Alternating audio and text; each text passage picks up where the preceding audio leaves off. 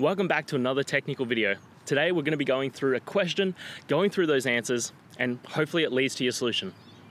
Remember, stay a little bit crazy, just like me, to get through to your resolution. Now let's get started.